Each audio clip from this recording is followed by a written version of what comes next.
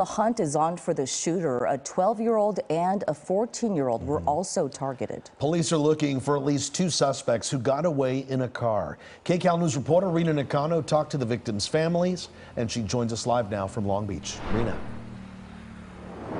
Yeah, Juan and Susie, I got to speak to the family of both of the victims, both the 12-year-old and the 14-year-old. They just had one puzzling question. Who would be so evil enough to, to shoot at children? What's good, y'all? Hold on, hold on. I said, what's good, YouTube? 12 year old Eric Gregory Brown III never shied away from the camera. Eric always want to do a TikTok. He always want to go somewhere. He always want to go outside. He always want to do something. But the vibrant, active preteen will never be in another video after being gunned down Tuesday night. His family says he was at a friend's sleepover on Lewis Avenue in Long Beach when he and his two friends likely snuck out around 11:30 p.m. As they were walking along the sidewalk, a man driving by suddenly approached them. Asking where they from, what set are they from, and they like nowhere. And they just start, they had on masks and everything, and they just start shooting.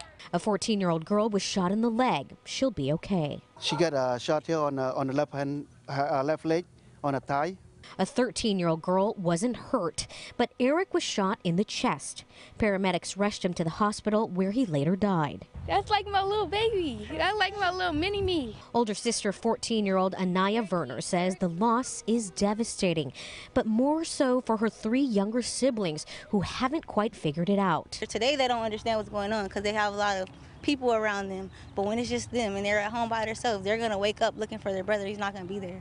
And their lives are never going to be the same. And just days before Mother's Day, the strong women in his life now have to bury their sweet boy.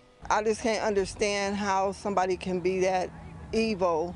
I just wanted to say, whoever did it, can you just please turn yourself in, please?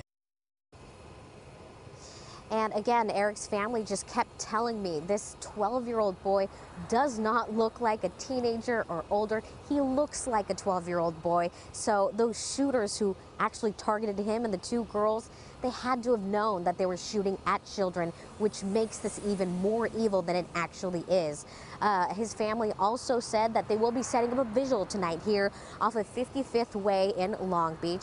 They say it's where his family lives and lots of his friends should be showing up at around 7 o'clock today. Meanwhile, Long Beach Police says if you have any information about these shooters, to give them a call. Live in Long Beach, I'm Rina Nakano, KCAL News. All right, Rina, thank you.